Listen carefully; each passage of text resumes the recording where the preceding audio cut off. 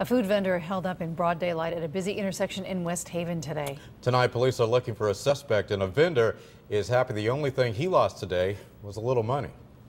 What began as a normal Friday for Jose Sequen at the La Patrona food cart changed dramatically in a split second. I'm stay here every day, here, you know, work every day here, I'm selling food. Sequen says a man walked up to the window and ordered five tacos. When he turned around to begin cooking, the guy jumped into the cart holding a black handgun. He said, Das, give me money, give me the money. What? Give me money. I see some the gun, come the gun, saying, you know, give me money, I kill you. The food cart had only been open about a half hour or so when this holdup occurred, and the robber got away with perhaps $80 at most. Sequen tells me he's parked his truck at the same spot on First Avenue for about a year, and this is the first time he's been robbed.